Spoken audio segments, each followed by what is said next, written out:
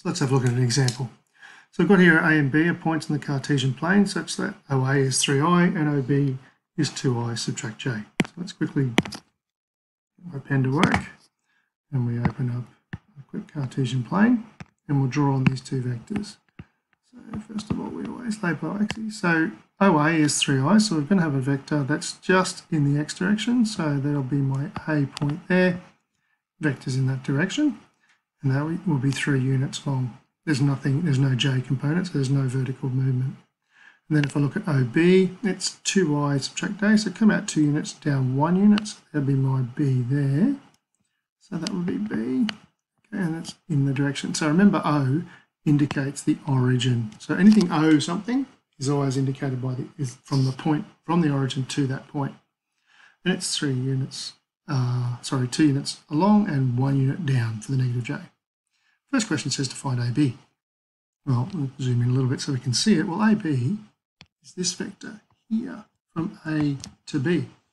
So in order to find vector AB, we are going to move from A to 0, so AO, we have to go along AO, and then we have to go down AB, uh, sorry, OB.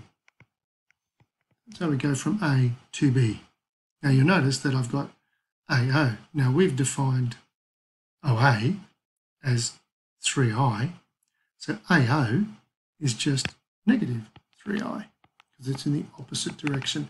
If there was a j component, it'd be opposite in both, but we've only got the i component. So I'll put it like this just to indicate that I'm going in the opposite direction. So just to rehash that, just to quickly understand it, OA is in the O2A direction. So AO is in the opposite direction, so it must be the negative. Okay, OB is as defined, so it's 2i subtract j. Now all of these are vectors, so I need to put my tildes in. And now I simply do the addition. Negative 3i plus 2i is negative 1i. And plus negative j, so it be minus j.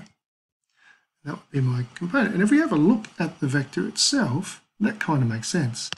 If you think about it here, we're going from A to B, we're going down one unit because it was at zero, now it's at negative one.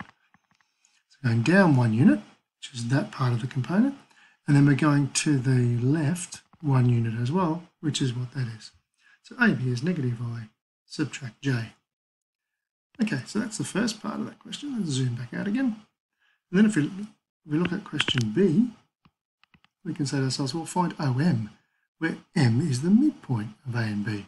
So if we go back a little bit, we might remind ourselves what that is. So if we have a look at this, the, question, the formula for midpoint, OM is a half of OA plus OB, assuming that we find the midpoint of the segment AB. So if we go back to the question we are doing, okay, so the midpoint OM is half of OA plus OB.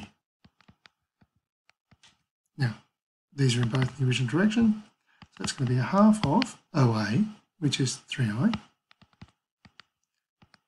plus OB, which is 2i minus j.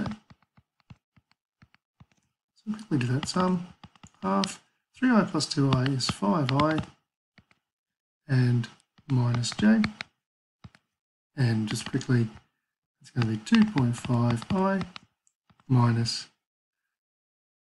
0.5j.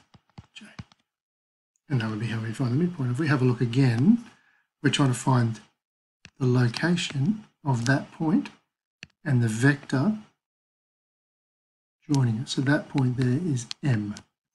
And if we have a look at that, that's about two and a half units long. It's halfway between two and three, and it's a half a unit down. And then that's exactly what we've got there. Okay, so there's some questions to have a go at in a minute, but the second video is going to be looking at this concept of the unit vector, and we'll come back to that in the next video.